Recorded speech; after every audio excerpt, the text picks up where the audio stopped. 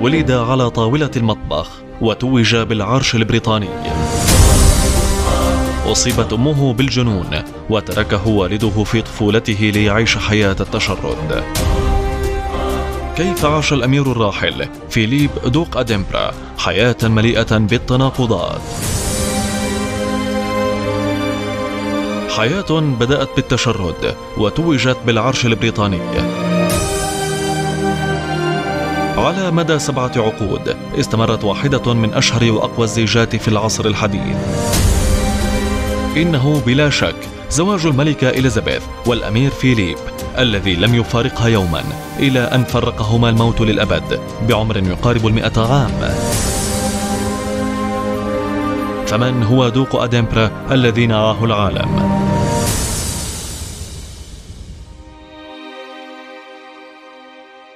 ولد الأمير فيليب عام 1921 لوالدين ينتميان إلى أعرق السلالات الملكية الأوروبية. والدته الأميرة أليس تنتمي إلى العائلتين الملكيتين الألمانية والبريطانية. ووالده الأمير آندرو هو الابن الأصغر لملك اليونان وأنجبا أربعة فتيات وصبي هو الأمير فيليب. مع أن سلالته ملكية بامتياز إلا أن فيليب ولد بأحلك الظروف خلال الحرب العثمانية اليونانية. ولدته أمه على طاولة المطبخ في بيته وعندما أصبح عمر الطفل الوسيم عاما ونصف العام أصبحت حياة عائلته في خطر. فطردت العائلة الملكية من اليونان لتهرب عائلته إلى فرنسا.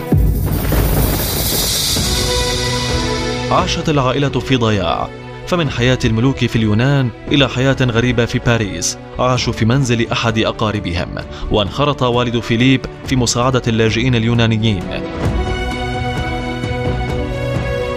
وبدأت والدته الصماء بالتدين وأصبحت تدعي أنها تتلقى رسائل من السماء وتتخيل بأنها تتمتع بقوى خارقة. لاحقا شخصت الأم بمرض فصام الشخصية وأودعت في مصحة نفسية في سويسرا وذهب والد فيليب للعيش مع عشيقته في مونت كارلو.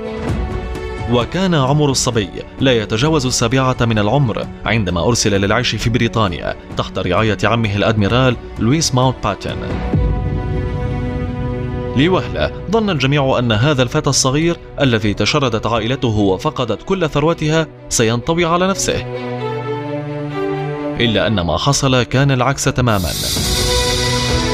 فالتحق الأمير الصغير بواحدة من أعرق المدارس في اسكتلندا وأصبح من أبرز وألمع الطلاب وبدأ تفوقه الرياضي بالظهور. صقلت هذه المرحلة شخصية فيليب وجعلته شخصا قوي العزيمة وصلبا. كان لسلاح البحرية أثر وتاريخ كبير في حياة فيليب وعائلته وحلم كبير له حيث كان جده رئيس سلاح البحرية فانتسب الشاب للكلية البحرية الملكية بعمر الثامنة عشر بحلول الحرب العالمية الثانية.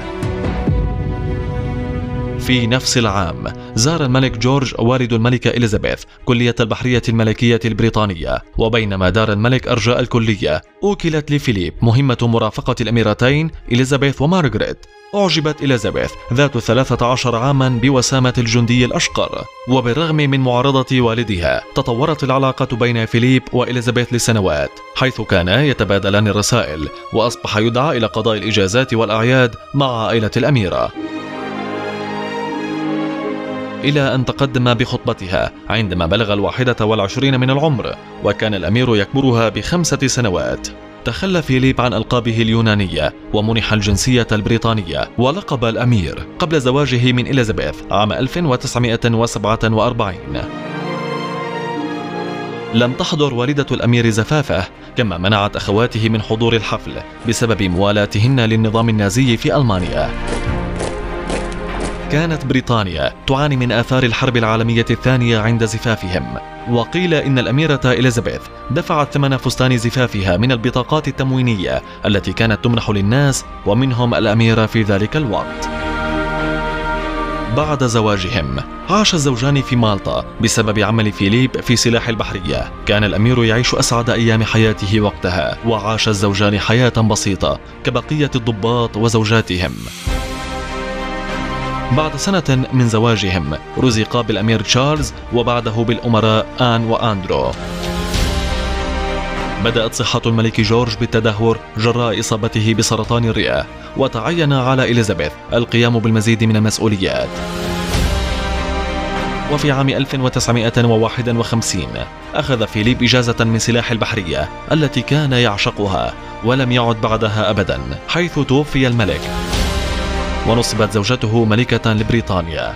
اصطدم فيليب بالعقبات بعد تنصيب زوجته ملكة إذ لم يتضح الدور الموكل إليه. كان يشتاق لعمله في البحرية وكان يحمل الكثير من الأفكار لتحديث النظام الملكي والتي جبهت بالرفض من الحرس الملكي القديم للبلاط. تغيرت حياته بشكل جذري.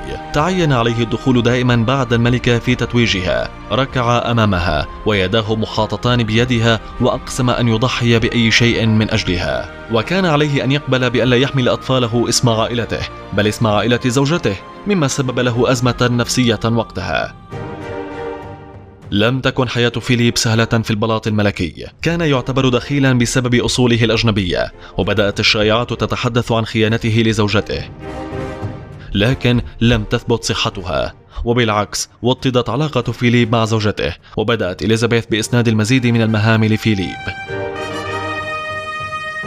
لم تكن حياته سهلة. ولعل أشهر ما عرف به هو زلات لسانه الشهيرة وآراؤه المرتجلة وبالرغم من تخبط الذوق ومروره في فترة ضياع إلا أنه وجد نفسه في العمل الخيري فدفعه حبه للرياضة إلى إطلاق العديد من المبادرات والجوائز لدعم الشباب وترأس المئات من الهيئات الخيرية وكرس حياته كليا للتاج البريطاني وللملكة ويذكر قوله للسكرتير الخاص به أن وظيفته الأولى والثانية والثالثة هي دعم إليزابيث وأن لا يخذلها أبدا. وفعلا هذا ما قام به لحد وفاته بعمر يقارب المئة عام.